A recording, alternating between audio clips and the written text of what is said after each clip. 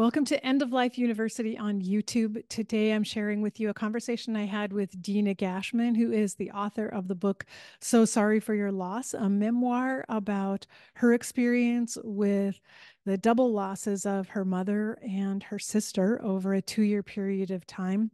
And it's a book that weaves in humor, and research that she did on grief, and I think you'll really enjoy it. So um, we'll get into that in just a moment. Make sure you subscribe to this channel down below if you haven't already, and also subscribe and leave a rating and review for the podcast wherever you happen to listen. Go to eoluniversity.com slash support if you're willing and able to make a small contribution that will help keep this channel and the podcast on the air.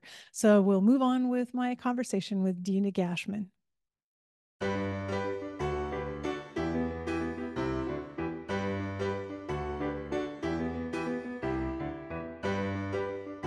Today, I'm so happy to welcome my guest, Dina Gachman. Dina is a Pulitzer Center grantee and award winning journalist and a frequent contributor to the New York Times, Texas Monthly, Vox, and more. Her second book, So Sorry for Your Loss How I Learned to Live with Grief and Other Grave Concerns, has been featured on CBS, BBC, NPR, and in Time Magazine, Southern Living, Teen Vogue, and more. And we'll be talking about that book today. Dina lives in Texas with her husband and son, and you can learn more about her work at her website, dinagachmanwrites.com. So, Dina, welcome and thanks for joining me. Thank you for having me. Yeah, Vin, I really enjoyed reading your book, and so I've been excited to talk to you about it. Um, First of all, I I love the cover of your book because it shows someone holding a casserole in their hands, kind of offering it out to another person, and I think that's um, it's a great depiction of grief in a way and how other people respond to our grief. Yeah it's kind of a universal symbol of of that you know early period of, of grief i think. And um there's a chapter in the book that's specifically about food. And so um the the when we were you know thinking of what the cover was going to be the publisher came up with that idea of like the hands holding out the casserole which i thought was great because it is i think it is one of those things i think in most cultures if not all it's you know you see it and you're like okay i I get what what's going on there. Yeah, it's actually it's it's a really comforting symbol in a way for grief and to me it just it represents being connected to other people who care about you and yeah. anyway I re- I really liked that. I Thank mean it you. just attracted my eye right away when I saw the cover. But I'm curious if you would just tell us what inspired you to write the book as a journalist so this isn't necessarily your area but yeah, I mean, I've been a writer for many years and I didn't, you know, I'm not a therapist, I'm not a grief counselor. So it's, it, you know, I wrote about lifestyle and entertainment and all kinds of things. Um, and I never wrote about grief until um, my mom died in um, 2018 um, of colon cancer. And then my sister Jackie died about two years later from alcoholism. And when my mom died, I really didn't write much about grief at all. Um, I didn't really write anything personal during the time she was sick, um, which isn't like me because I'm I was writing personal essays all the time and things about being a mom and you know just a, lo- a lot of humor kind of pieces. Um, but when my mom died, I just I didn't know how to approach what I was feeling and what my family was going through. And then after my sister died um, in 2021, I had been given a lot of grief books, and many of them were wonderful. But I just felt like there was a book that that I hadn't found that I wanted to read, which would be um, something that was, you know, personal and memoirish, but also had reporting and had humor and really kind of looked at different aspects of grief. And so it was a couple months after my sister died when I kind of thought, I think I think I have a book in me about this topic, and I and I think I have some things to say because you know my family had this kind of double loss, um, and and I wanted to learn more about it. You know, as a journalist, like I I didn't go into it thinking like I will share my wisdom. You know, I went into it thinking like I want to learn more, and maybe along the way, you know, people will relate to the to the story. So that's really what inspired it.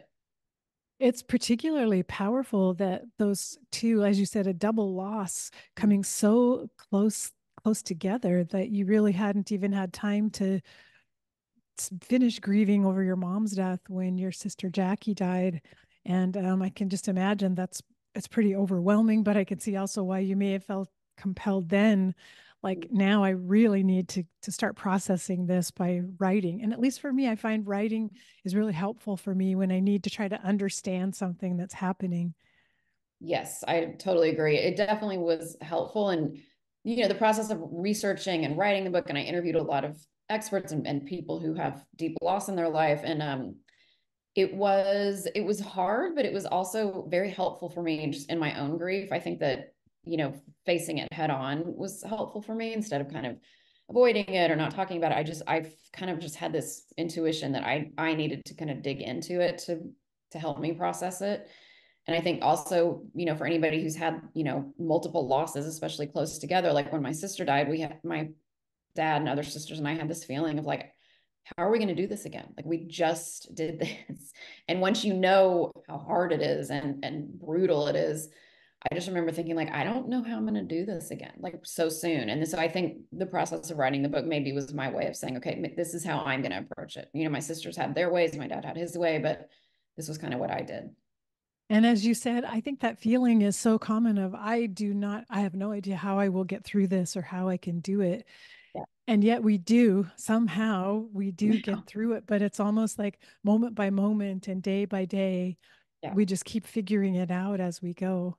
Yeah. And we and we do make it through. It's you know, when I hear I have a friend who just lost her mom, I mean maybe less than a week ago. And so everybody's grief is different obviously but like you kind of know what it is once you've gone through it and so i just feel for her so much because i i kind of know where she's at right now and um even if i hear somebody on the radio and they're and it's so new and their voice is shaky and you just once you've been through it you just kind of understand what those especially those kind of early days and months feel like um and it's not easy but we do like you said we we make it through we find our ways we find what helps us and and we we move through it and you you write in the book about well the title of the book is so sorry for your loss which is one of those things that people may say because they have no idea what else to say and it doesn't really have a lot of meaning to it. And i was just thinking about that sometimes when we've been through a loss experience and learned from it as your subtitle says learning to live with grief it does feel like I know things that I could tell someone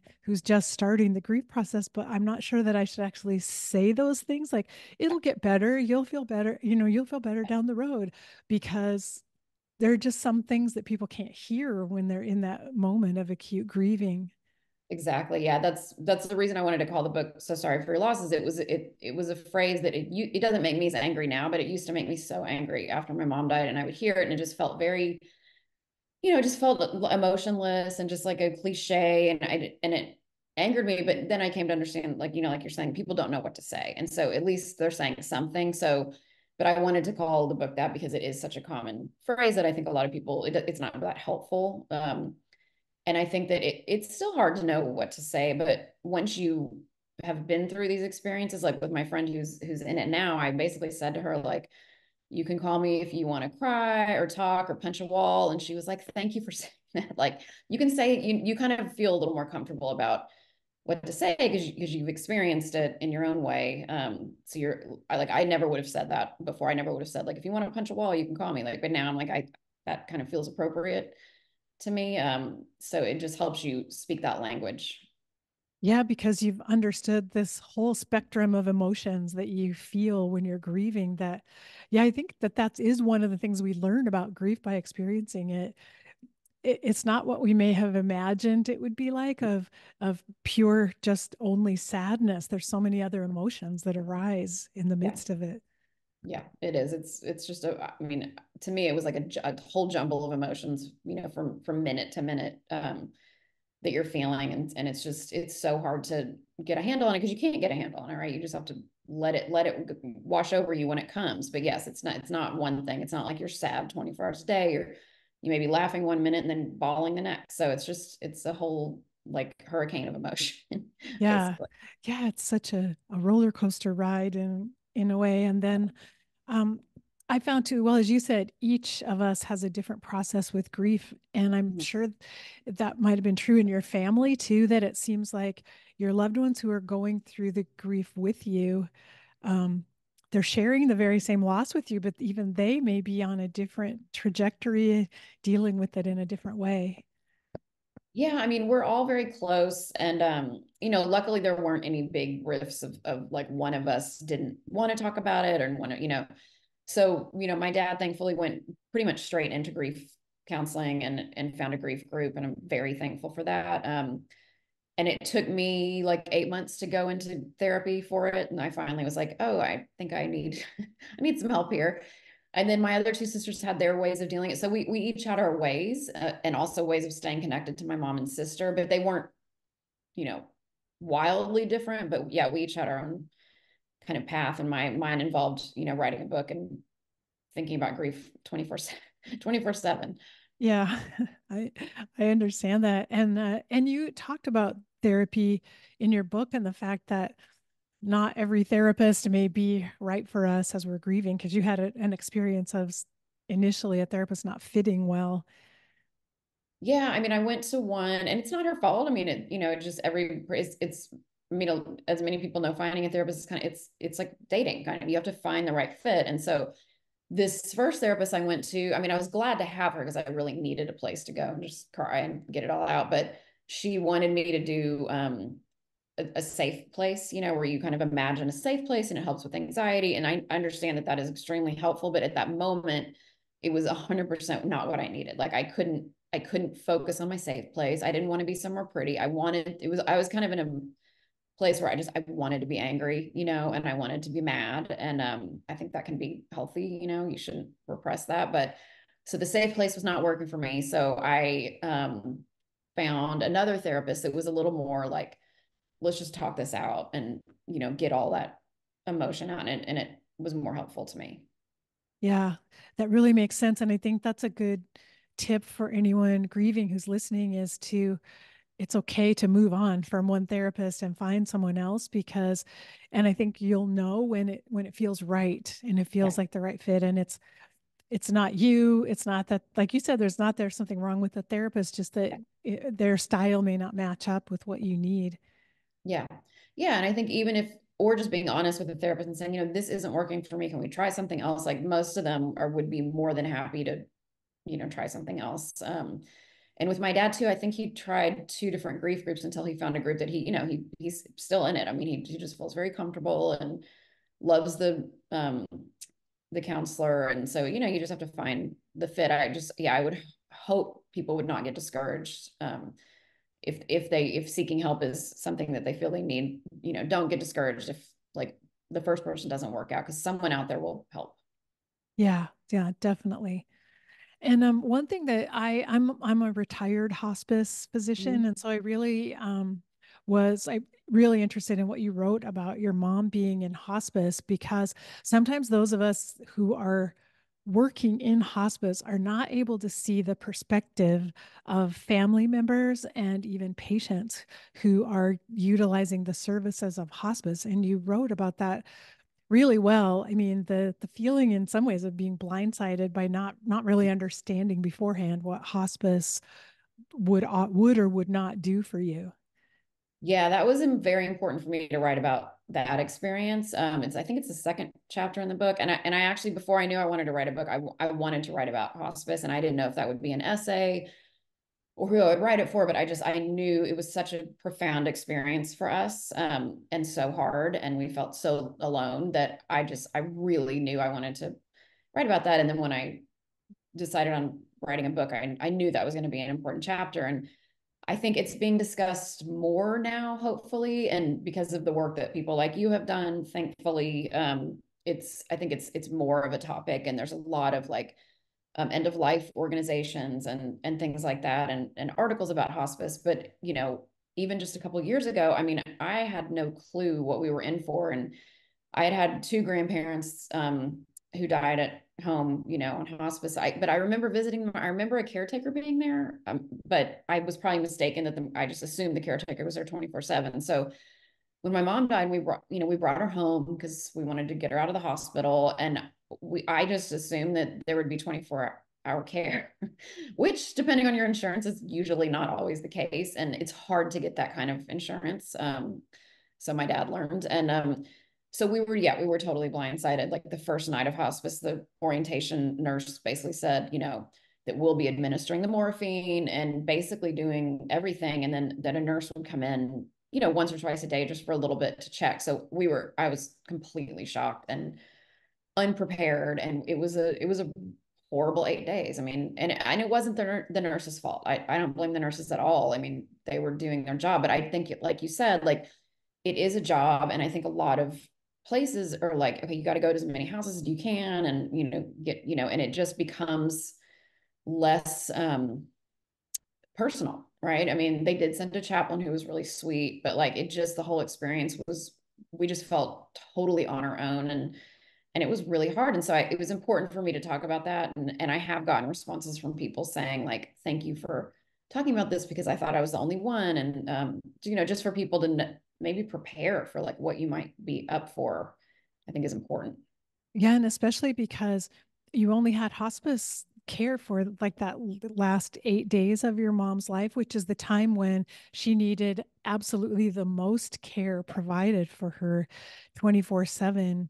Whereas if anyone in the healthcare system had talked to you earlier and said, you know, you could meet a hospice staff now and get connected earlier on before she needed so much care, it might have eased you into it a little bit, at least to with a little more training and a little more preparation. But you just got th- kind of thrown into the deep end when having to do all this care that you'd never done before. And yeah, and I and I think that you know now come on the other side of it, like it was and I talk about this in the book, but it was very hard for us to, I mean, we, when my mom was, she was on chemo and treatment for like three and a half years. So we knew about palliative care physicians. We knew that was an option for us, but it was just, I think it was almost as if to us, like if we, if we, you know, opened that door, then we would be saying, okay, mom's going to die. And we, we just weren't prepared to do that. And, and it would, you know, it was hard for us to even get her to do that because then it would be saying like, you're going to die. And so now I can I think I could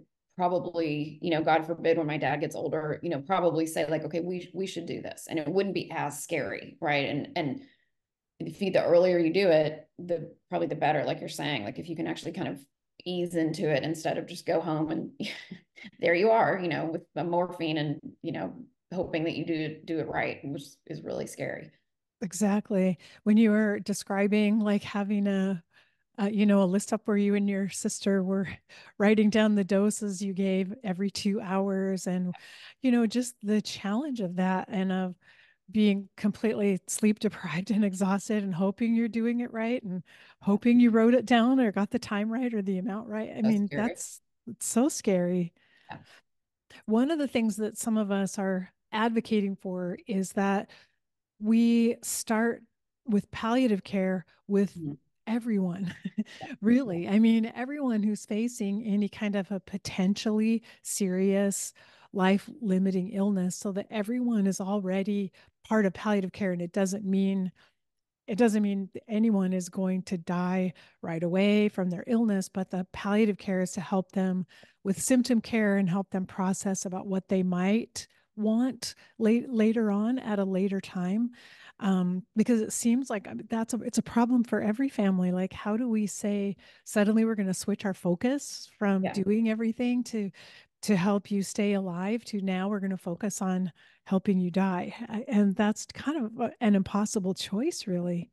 It really is. It's a, it's an impossible choice, and I mean, we couldn't do it. I didn't I didn't want to do it, but I did interview a palliative care physician. Um, I think it was in that chapter, and she put it in a way that I wish I would have known and, and I think could be helpful for anybody. As she said, what she says to people, if it's kind of early on or if they're really nervous, whether it's the family member or the, the person who's sick, is she phrases it like, you know, um, we're going to open this box and we're going to look inside this box and then we're going to close the box and you don't have to think about it again. So it's, it's, it makes it so that it's this, we're going to, we're going to look real quick, but it doesn't mean it's happening now. And then we can kind of put it aside. And I feel like that's such a great amazing way to kind of frame that conversation because it, just makes it a little bit less scary. Yeah, I I love that because then the issue has at least been addressed and it's like the a little seed has been planted and it's it's in the back. It's not something you have to think about every day, but as the time draws closer when you may need to look in the box again, at least you don't feel so terrified by the box because you've already you've already looked at it. I I really love that Yeah, I love it too. I think it's really helpful. And um, you know, we just didn't know any of that. And so it was just, it was totally like trial by fire kind of thing. So um, I do feel for anybody that goes, I mean, you know, going through that is horrible in any situation. Um, but I just think now I'm so glad it is being talked about more. Um, whether it's, you know, end of life doulas or palliative care or whatever it is, I feel like it's, you know, we should be more open to talking about it because it's a scary thing, right? I mean, talking about death is scary. Nobody wants to do it, especially if it's somebody you love and adore, whether it's a person or a pet or, you know, um, it's really hard to discuss. But I think the more we get used to it and make it less scary, it'll just be very beneficial.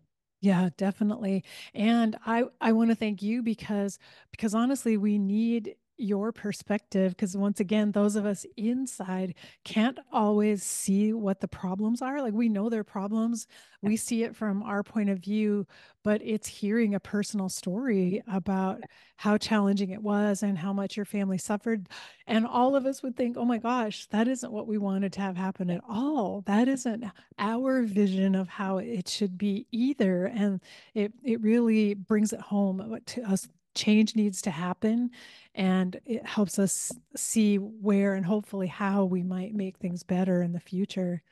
Yeah. Well, good. I think, yeah. And like I said, I don't think anybody that's working in hospice, I feel like is probably, you know, that's a, cannot be an easy job.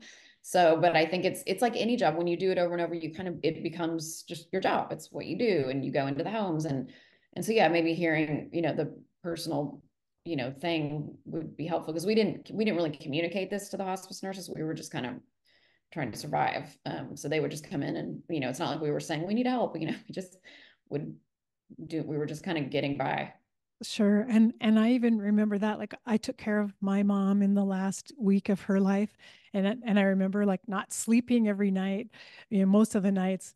Um, everything was a blur and ran into to all the moments ran together.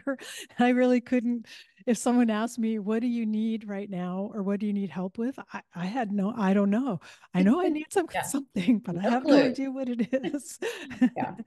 It's very true. Yeah, that whole time, just like time was like I talk about in the book. It's like it was like a melting Salvador Dali clock. Like I just I never knew what time it was. Like we were just in the house pretty much the whole time, and people would try to come and visit, and you're just. And I was like, have I showered? What am I wearing? Oh, I have pajamas on. You know, like you just have no clue. It's just moment by moment. Yeah. Well, I wondered if, say, if there's someone listening who has a loved one going into hospice, are there things that you would tell them that that they need to know in advance that you didn't know when you were in that situation? I mean, I would say, I mean, it's very hard to like sleep, you know, and things like that. But but I would ask for help, and because you, uh, my sisters and I did get caught in this mode of like, we got to do everything, we got to do everything, we got to take care of things, and like I would say like please don't feel guilty if you need to just go outside and take a walk or take a nap or you know ask somebody to help. We did that once with my brother-in-law. We were like, "Can you please like we have got to just step away for 4 hours. Can you do a dose of the morphine?" And he did. So I would say, you know, ask for help and if you feel yourself getting into that mode of like I have to handle it, I've got to do it all, like take care of yourself because it really takes a massive toll um, on your mental health, physical health, everything. And and my concern is like what ideally what I I would like to think of is that family members you would get to be with your loved one and focusing on your relationship with your loved one and having conversations and not running around trying to take care of every single thing and exhausted so that it almost feels like you you know you may have had less of that time with your mom than you would have liked to have had. Yeah, because you want, I mean, we definitely had plenty of, I mean, we were all basically living in my parents' house. Um, and so we had plenty of time where we would just sit next to her and hold her hand. And, and so we definitely got that. But yes, there was a lot of anxiety and stress in, in between those moments that were hard. Yeah, yeah, definitely. Well, um, we alluded to food when we talked about the cover of the book. And I loved um, there are a lot of so many things I resonated with in your book, but you talked about a bucket of KFC of fried chicken that someone brought over. Um, and I guess that was um, when you were grieving. But I actually I had a similar experience. Someone dropped off a bucket of chicken when I was taking care of my mom, and I swear for days that's the only thing I ever ate. I reached in yeah. and grabbed a piece of chicken, and it was it was yeah. so delicious and so com- perfect comfort food. so yeah, it really was. Like I remember somebody brought us like a kale salad, and my sisters and I that is not we that's not what we need right it's healthy and it's a wonderful thought, but like we needed the bucket of KFC 100% because it was just, you know, greasy and comforting and, you know, delicious. And so that was very helpful for us. And the, and the woman that it was a family friend that dropped it off, she just dropped it off without announcing it, which was very helpful too. Cause I think when you're in those moments, whether it's hospice or right after someone's died, like it's very hard to make decisions. Like, what should I bring? What do you want to eat? Like, I, I don't think I knew what I wanted to eat until it was right in front of my face. And so I think it's, it is helpful if you're going to do that to like, you know, you don't have to show up unannounced, but sometimes it's okay to show up unannounced and just be like, here's this, and I'm going to leave and I don't need to stay because visitors can be kind of stressful too. Um, but yeah, the bucket of KFC and we got some gumbo and, you know, stuff like that was, was helpful more than the kale salad. Yeah, yeah. The comfort foods, yeah. the things that you might not eat every day in yeah. other at other times in your life, but that just feel nourishing and sustaining with yeah. lots of carbs. yeah. lots of fried whatever is in KFC. I have no idea. whatever is in there. Yeah. Yeah, exactly. And then you have some a few recipes at the end of the book. I really appreciate that too. Yeah, I thought that was important because you know the food part was you know, I mean, it's it's such a common thing. I mean, my dad's freezer was like overflowing with lasagnas and all kinds of things. But I did put a couple of comforting recipes like um my mom's chicken soup, you know, just things that are that are kind of simple that you know, actually uh, and I did put the gumbo that somebody brought us, but I just, you know, I think they're just nice, easy, comforting things. And you don't have to make something like the KFC was meaningful, but once when somebody did bring something homemade, it was it just meant a lot because it meant that they spent some time actually working on that and putting some love into it. So it was it was really sweet. Well, I used to always bring lasagna was like my go-to dish that I would make for someone until a friend of mine told me during a, a several month period when people brought her meals, she got 10 pans of lasagna and I realized, right. oh my gosh, like I gotta yeah. find something new to make for people, yeah. something different that not everyone else will be thinking of. Yeah, that one's kind of a go-to. I think my dad had a lot of those for sure. Yeah, I mean, we you appreciate everything, but but it could get old after a while if if that's all you have. Yeah. Yeah. So I always I feel like food is a that's like a, a fail safe. You can't go wrong. If you bring someone food, make yeah. it with love in your heart. It will be something that connects you with that person and helps them get through those days better. And uh, especially bring it in a dish that you don't need to have returned to you also. Exactly. Last thing you want to do is be like hey can you uh can you give me back that tupperware? Yeah. Somebody's like in the throes of grief. But you know it is it's such a like universal um thing is to you know try and sustain somebody when they're going through something that's so depleting you know it makes a lot of sense why you would do that because it's it's easy to just kind of you know forget to eat or just you know not take care of yourself. So it's a very like seemingly simple gesture that is important. And that's why it's endured i think. Yeah. Yeah definitely. Well another thing you talk about uh, and we mentioned this before that your sister jackie died a, a couple of years after your mom died, and um, she had an um, alcohol addiction problem that she dealt with. It sounded like for most of her adult life, and so you wrote about ambiguous loss, and I think um, I think it's really important that we address that, and even the fact that you probably grieved in many different ways, even while Jackie was alive. Uh, Definitely. Yeah. So, you know, that was a big, a big part of wanting to write the book too, because you had asked earlier about what inspired it is that, you know, my sister suffered from alcoholism for years, probably, probably starting earlier than any of us knew. Um, and it was something, you know, having a relationship with a sibling for so many years who, you know, was a really bad alcoholic. I mean, you know, to the point where we could barely have a relationship.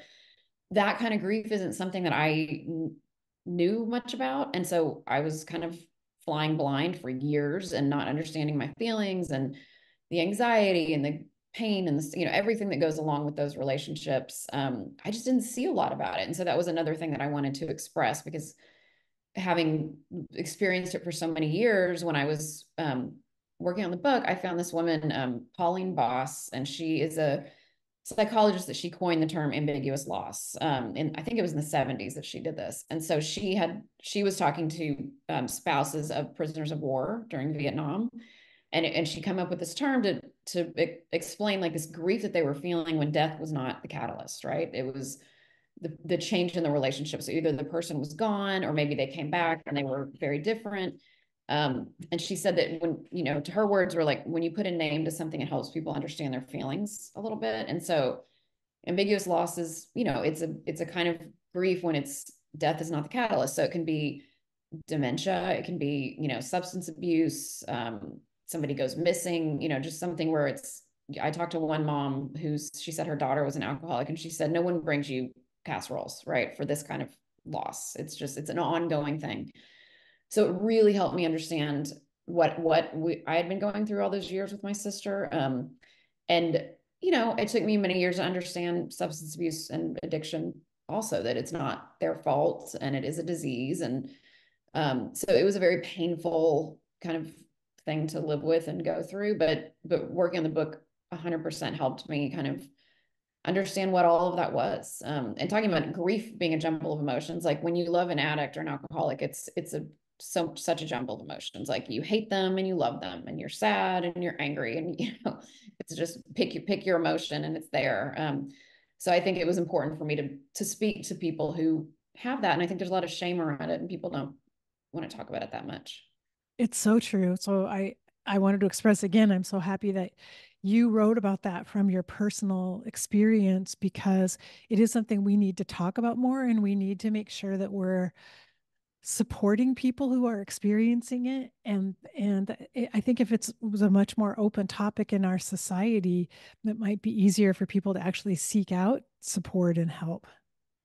Yeah i think so and i think i think some of the stigma is hopefully going away. People are under people understand now that you know it is a disease just like cancer you know. Um, but there's a lot of people that don't you know there's a lot of people that are like why can't they just stop? And they're so selfish and you know um, and so hopefully the more we talk about it more people will hopefully understand those relationships especially for you know parents who i think you know my mom really struggled with it for years because when my sister first was you know we realized what was going on i think she was very you know embarrassed and ashamed and um, didn't understand it and blamed herself. And so you know i just feel like you know the more we talk about that kind of grief the better because it's really it's not easy to live with day to day. Yeah, and I'm sure you're right that parents in particular live with a lot a lot of guilt, not understanding how did this happen and what like what, what did I do this and yeah. what did I do or could I have done and um, yeah, so it creates such a very complicated emotional situation, and then I'm sure that continued on after Jackie died as well, um, trying to untangle all all of the various grief experiences you had had? Yeah because um yeah because even just you know the fact of that that being a cause of her dying and you know it was a different kind of loss because it was although it was something we feared for years i mean there were there were times when i definitely thought oh we're going to get the call you know she's really doing bad but when she died she had been sober for a year um so it was it was a very surprising phone call because she had been doing so well and so as opposed to my mom who you know we kind of knew where this road was leading. As horrible as it was with my sister it was it was a sudden kind of thing. So it was a, it was a different a little bit different process. Yeah. Wow. Um i i just even i mean even just thinking about those two losses back to back as they were um what what a huge load that you and your family have been carrying for a few years yeah, it was definitely, you know, and for my dad especially too, because he took care of my mom for all the years that she was sick. And um, like when she was like eating keto, because he he was like, you need to try eating keto. And so then he did it and he lost like 30 pounds. so he went through a lot too, the poor guy. Um, but then, you know, he lost the love of his life and then a daughter. And so then we had the added thing of worrying about him because I when my sister first died, he would say like, I don't know if I can get through this, and so that's you know that's scary too. But luckily, he's amazing and and is in therapy and is not retreating and he's out in the world. But um, you know, yeah, just those two kind of things in one family is you know it's not easy. Like I still have moments when I real I feel like did this happen? Like did this actually happen? It just doesn't feel real and it's been several years now you know um, but there's i definitely still have moments where i where i have to check myself and say like did, did that really happen yeah. it just it feels very strange how has it been for you since the book came out because now you're talking about it a lot and reliving the experience and uh, how how has that been i mean it's been you know since the book came out i've had so many conversations obviously about grief and loss and it's been very meaningful because a lot of people have whether it's at book events or sending emails or messages, um, people have shared their own stories. And and the most meaningful thing to me is when people have said, like, your book really helped me feel seen in my grief, you know, instead of feeling very isolated. And so that's been amazing. And um, you know, I hope it's a book that people continue, like people have said, oh, I I read it and then I got it for some friends. And I hope it continues to be a source for people to you know, I'm not, like I said, I'm not an expert, just to feel less alone and maybe laugh a little bit because there's some humor in there and understanding that humor and grief can go together. they can, you know, it can be very helpful to allow yourself to experience all the emotions, right? Like, um, and so it's been really meaningful and it's, and I've written more about grief since the book came out. So pros, profiles of people who are grieving or, um, actually have a big thing coming out in the New York Times, um, at the end of this month. So when this airs, it'll been out, but it's a whole huge package about grief and creativity. And um, I feel like after that comes out, I may take a break for a while, but I always say that. I always say I'm done writing about grief and then something pops up. And and I think it's just something that is, you know, when it's in your life, it's it's probably going to be something that I'm always curious about and that I'm always drawn to because it, it's almost like I'm always going to be a student of it now right? There's you don't ever just learn it and you're like, okay, I get it now. It's it's a continuous part of being human. And so um, I feel like through writing, I'm able to kind of continue to explore what what it is. I'm so grateful that you you're able to use your platform as a journalist and a writer to talk about grief and and I don't know it just seems to me like even a decade ago we were not seeing as much in the media around grief or addressing it and talking about it. And that's been something I've really wanted to see that change so that everyone out there in their day to day lives was encountering messages and stories about grief and loss and it wouldn't feel they wouldn't feel so alone and would feel seen just just as you described. So um but it's really important that people like you who have the platform like you're able to write for these major publications that, that you address it and i'm really grateful for that yeah i think i do think it's very important too and I, and I do think it's changing um i don't know if you feel the same but it's i i have seen a shift even in the last couple of years even since the book came not because of the book obviously but like you know um just a shift i don't know if it's coming through the pandemic when we just we had to face grief and loss like how could you not? But I just I feel like it's being talked about so much more and there's like apps and podcasts and Instagram accounts just devoted to poetry about grief and and so I I feel like it's something that people are realizing like yes it's horrible and hard and scary but the more we talk about it the better we're all, we're going to be um and so I hope it's changing. Yeah, I th- I feel like that too. It seems to me like even in like um feature films and you know in in all kinds of media that we're consuming there's just a lot more depiction of people grieving and of loss and death in a much more honest and courageous way i think where you know whereas as the past in the past maybe it was a a, side mention that someone was grieving or, or grief happened, but now I feel like it's being addressed more directly. And I'm really happy to see that because it's so important and it will help everyone be healthier and be more open as they go through grief. I think so too. Yeah. And to, and to feel like you can, you know, say whatever you need to say or, um, you know, and I think on the, on the flip side, it'll help people that are scared to talk to people who are grieving because I think if you don't have it in your life and and I still have moments where I'm like oh god what do I say but it I think it'll help the people who real feel really nervous about death and grief and like oh there's somebody in my life there's a coworker or a partner or you know, I don't know what to say to them. What do I do? And they feel really nervous. Like, hopefully, it'll help people understand a little bit more that like you can't say much that's wrong. I mean, there's certain things like um, they're in a better place, you know, like probably not the greatest thing to say, but it, that it'll allow people to on the other side to to comfort others in a way that doesn't freak them out, you know. Yeah. Yeah, and even the idea of just showing up and not saying much of anything. You you pointed out the woman who dropped off the chicken, I think, just left the chicken and left and didn't need to engage in a big conversation. And I remember after my father died, well, a woman came over and she cleaned my house. She brought her vacuum cleaner. She, didn't say one word to me. She just walked in the door with her vacuum and her rubber gloves and she cleaned my house and left. Didn't say anything. And I appreciated it so much that she was willing to show up. She didn't need to ask me questions because I was just too tired to talk about it in a way. Yeah. Yeah. I think those are the the best gestures that people just, you know, like the worst thing you can do is nothing, right? The worst thing. And I've talked to, I had this experience with somebody in my life, and I talked to um, actually a, a parent who lost a child, and they just said, like, the absolute worst thing you can do is just ignore it in an attempt to not upset somebody because per, a grieving person's already upset, right? You're not going to like single handedly make, you know, like, unless you say something awful. So, it's just the worst thing to do and say nothing, right? You don't have to like send them to Tahiti, but like, you know, just do something. Like you said, like show up and clean their house or drop off something for them is is so important. Yeah. And I, I know I always try to imagine like why would someone not show up yeah. for a friend who's grieving? And then I thought, what if they themselves are grieving and it's triggering, except how how perfect in a way to just come and say, I'm hurting too.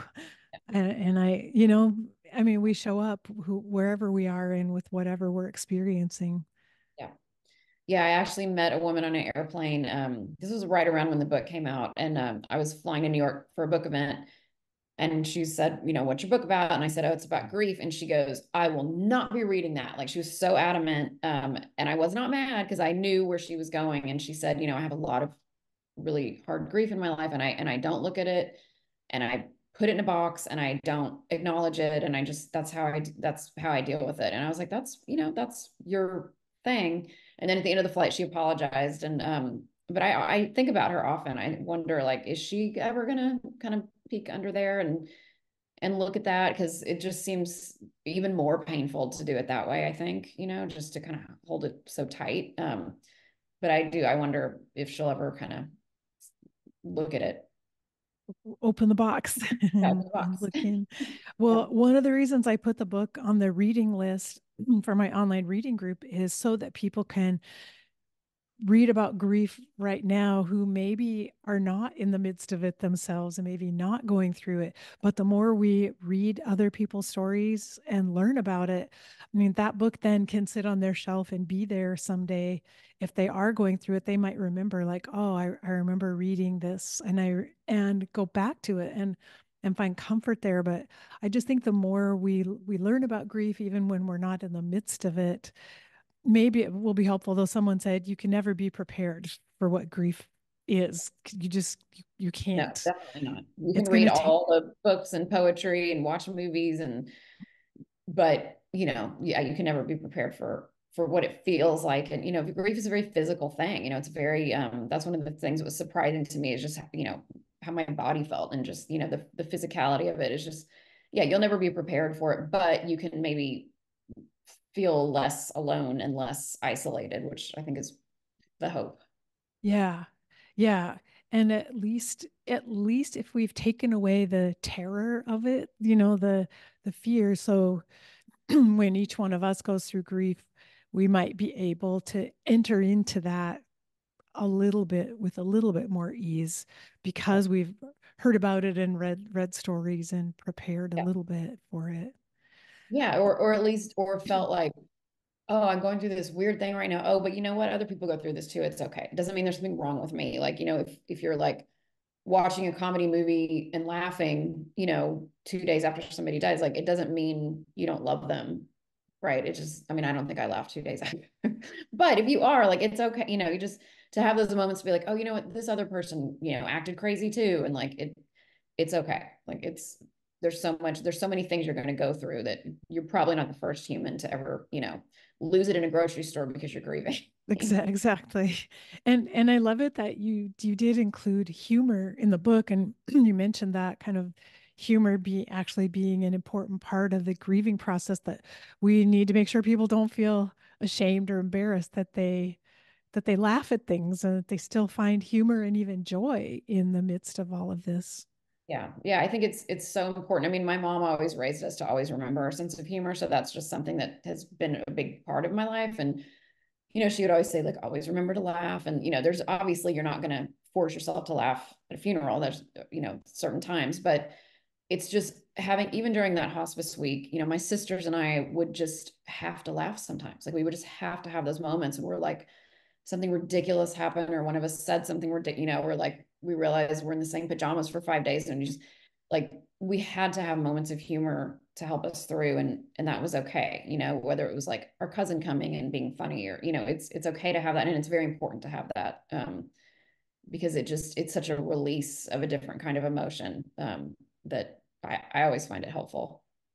Yeah and it's helpful in your writing when you're writing about a very serious subject that you're also able to to weave moments mm-hmm. of humor into the writing and I haven't I haven't read anything else that you've written but I assume that that is your style that you incorporate humor it is most things I would say most things even the, the very first thing I wrote about grief was an essay about my mom um, and about we used to watch Hollywood red carpets together and so after she died I that became kind of a ritual that I would you know kind of be stay close to her but that had a lot of humor in it, but it was very sad. You know, it was very hard. And I wrote about my dad starting to date again about two years after my mom, and that had humor. So it definitely is something that it it helps me a lot. It would have been really much harder to write the book if I couldn't have some levity in there. Um, so it, it definitely kind of follows through in most everything I do. Yeah. Yeah. And and it's very helpful. It's a helpful coping mechanism, I think, for all of us to to be able to use the humor. Yeah. Well, um, I wanted to tell our listeners where they can get the book if they don't have it already. You can get it um, basically any bookstore. You can get it online. I mean, anywhere books are sold basically. And if they don't have it, you can just ask them to order it. Um, and there's an audiobook also available. So if you just you know look it up online or go to you know go to your favorite indie bookstore they should if they don't have it in stock they'll be able to get it for you. Yeah i encourage that. Support your local bookstore. Ask them to order it and then maybe they'll order a few extra copies. But i think it's a great book for like a, a book club. Like a if you belong to a book club suggest the book get get your friends in the group to sit yeah. together and read it together and talk about it because amazingly once we start talking about grief we uncover that almost everyone has had grief in their life that sometimes they've never been able to tell anyone about and i think this book is a really it's a great book for a group to read together it's not overwhelming you know I, I mean i think it's a really good kind of introduction to open up conversations about grief well, thank you. And thank you for including it. That means a lot to me. Yeah, it's, yes, my my pleasure. And uh, it's been great to talk with you about it. Um, I'm going to check out your mom's chicken soup recipe since I'm looking for a replacement for my lasagna. Super easy and it's delicious. And then, well, chicken soup or the KFC again. I'm still going to keep that. the days I don't feel like cooking KFC. Yeah, either one. Well, well, thank you again. Thanks for the book that you've written, and then thanks for spending time with me today to talk about it. Of course, thank you. I hope you enjoyed that conversation with Dina about her book, So Sorry for Your Loss. And I hope you'll pick up a copy of it just to have on your shelf. Uh, if you don't feel like reading it now, um, it's a great book to get you started thinking about grief and loss. Also, a good book to give as a gift to someone else. So, I'll be back next week with another conversation for you. And until then, take care.